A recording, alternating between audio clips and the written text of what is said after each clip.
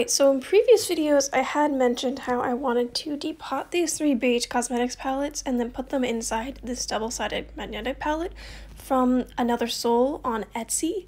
And I figure I might as well film some of that process for y'all to see. At first, when I did this first one, I wanted to see if spraying isopropyl alcohol would help prevent cracking because then the pans would be slightly damp and less likely to shatter. Um, I'm not sure if that really helped. The way I did it here, it kind of made it slippery at times, but here you can see me using just a normal like butter knife or whatever to separate where the shadows are from the outside packaging. And um, the first one was the most difficult because I was, you know, still figuring out the best strategy. As you can see, I kind of struggled, but I eventually figured it out. And um, then it was pretty straightforward from there. You know, I have to rip off the paper and the layers of cardboard. And I used a mixture of just using my fingers and the same butter knife to get under the edges and lift up the cardboard and rip off layers and layers until I actually get to the layer that is underneath the pans and not surrounding it. And I would have to say that out of all the steps in this process, this is probably the most time consuming and um, I guess, dangerous in terms of whether or not I accidentally stabbed Shadow, which I definitely did at one point with a knife. Um, but I eventually got to the bottom, and from there it was pretty straightforward. Just got to be careful when I put my knife under there and lift it from the palette. Um, the shimmers are always fine with that. Um, sometimes the mattes had like slight cracks forming and so I would just spray some isopropyl alcohol and kind of use a paper towel to press it back in to make sure it's not too out of hand. It never was like a really intense crack, so that was good. Um, but yeah, then I had to rip off any remaining paper or glue that was stuck to the bottom. But in the first wave of this process, I didn't really focus on getting all of it off. Especially in this first palette, I wasn't as proficient in ripping off the glue. Um, but later, since I didn't spray isopropyl alcohol, it wasn't as wet, which made it a lot easier to peel off dry or sticky glue. Um, but it wasn't until later that I actually took off the last part of color and glue that was stuck to the bottom, though I wasn't perfectly thorough because I was kind of tired and this was a long process. But here I tried rearranging it slightly because it always bothered me.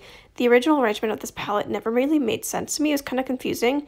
I think if you just moved one or two of the pans, it would make so much more sense because then it would be cool toned at the bottom and then warm toned at the top and be a lot easier to make color stories and color pairings. And this was the next day because I realized these pans weren't magnetic, which was totally a fault of mine. I was being dumb. Um, so I bought these little metal stickers and um, then I just peeled off the little paper part, stuck it onto the bottom of the pan, and boom, they're magnetic. Um, it was very easy. I had to obviously make sure the bottom was clean and flat before I did that. At first I wanted to organize it with mattes on one side and shimmers on the other, but I later decided to change that. Here you can see I'm starting the process again on the next palette.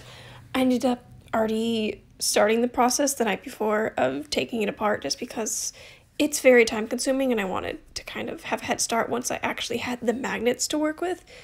Um, but yeah, it was pretty much the same process and I got slightly better and faster at it as time went on, but it was still just a fiddly process that wasn't like a perfect science. I decided to use a dropper with isopropyl alcohol later and um, drop it into the pans because I didn't have the alcohol in the sprayer anymore, but also that way the cardboard wouldn't get wet, which meant the glue and the cardboard would be all sticky on the bottom of the pan, making it harder to get off. But here you can see something really weird happened with that blue one. I put it, I just put a drop of isopropyl alcohol like any other one, and it bubbled up.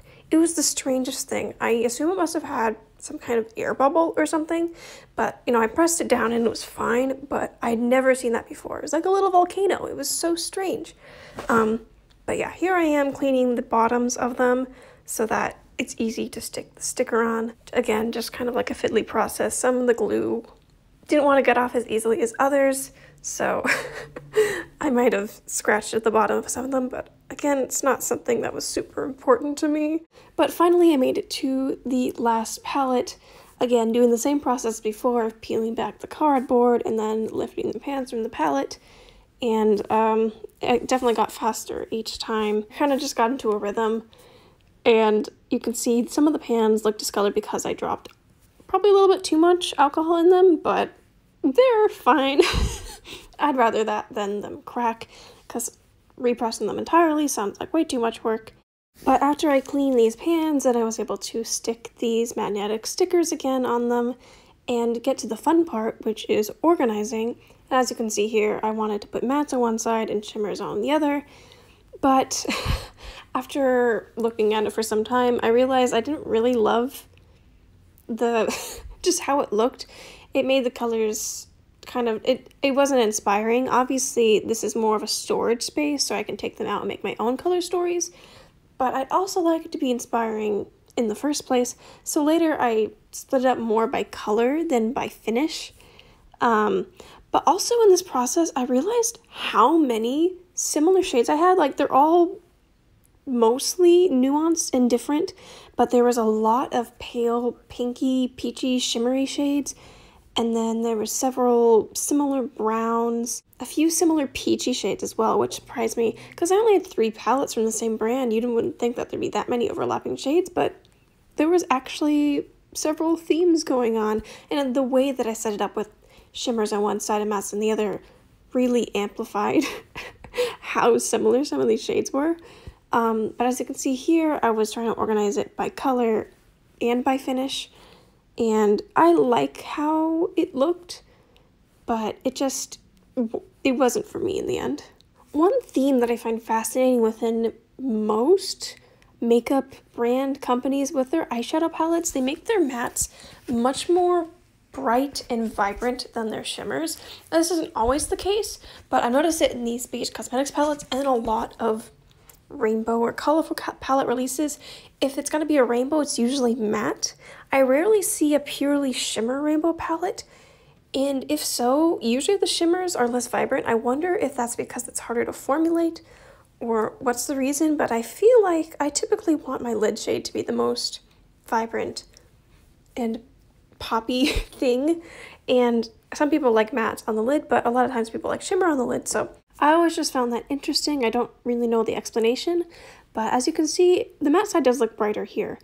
But after hours and hours of work, I finally finished it, and I definitely think that despite this long process, it was worth it. Here are the before and after pictures, and here is what I did by the end of the video, but then later I changed it to this format, which I think I will find much more suitable to my taste. But thank you so much for watching. I hope that you enjoyed and I hope that you have an amazing day.